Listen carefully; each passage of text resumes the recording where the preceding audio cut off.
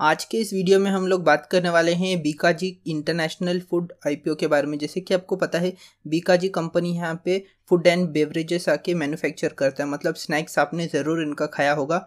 आपको अगर पता हो तो ये जो एडवर्टाइज करते हैं अमित जी तो यही बीका जी का जो भुजिया है या फिर इसका जो कोई भी स्नैक्स है, उसको एडवर्टाइज करते। आपने टीवी में भी ज़रूर देखा होगा इसका एडवर्टाइज तो यहाँ पे इस कंपनी ने ऑफिशियली आ जाके अपना आईपीओ लिस्ट कर दिया है। ये करीबन सात तारीख तक ये ओपन रहेगा। आप चाहे तो आईपीओ के लिए अप्लाई कर सकते हो। यहाँ पे गैप है 285 से लेके 300 तक यहाँ पे आप आके इन्वेस्ट कर सकते हो मतलब एक स्टॉक के ऊपर। और यहाँ पे आपको एक सेट मिलेगा मतलब यहाँ पे 12 से 13 आपको मिलेगा, करीबन पाँच से सात हज़ार तक का एक स्लॉट आएगा। तो आप आके बुक कर सकते हो। आपको अगर चाहिए तो। यहाँ पे हम लोग कोई रिकमेंड नहीं कर सकते क्योंकि यहाँ पे अगर हम लोग कोई भी रिकमेंड करेंगे तो यहाँ पे स्टॉक मैनुपुलेशन का ये पड़ेगा।